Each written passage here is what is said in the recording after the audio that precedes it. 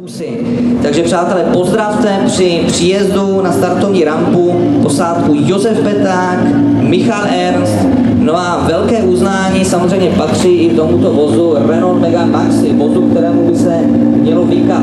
Tady tento Megane v roce 1999 sloužil rakouskému mistrovi Rafaelu Špererovi, pak bylo toto auto zakonzervováno na mnoho let někam do garáže a Josef Peták se svým týmem To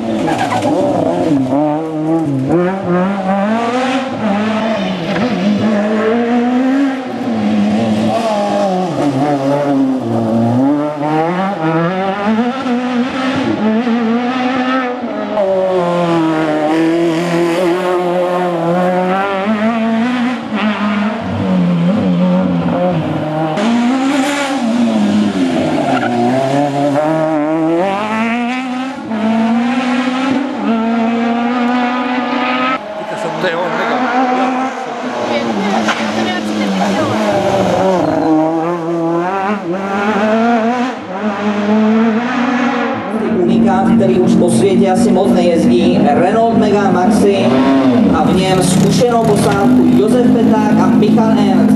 Jsme moc rádi, že tady na Rally Morava se ukázali, že nám ukázali tento vůz. A velmi výkonným vozem tato posádka absolvovala druhý závod, takže samozřejmě gratulace je na místě.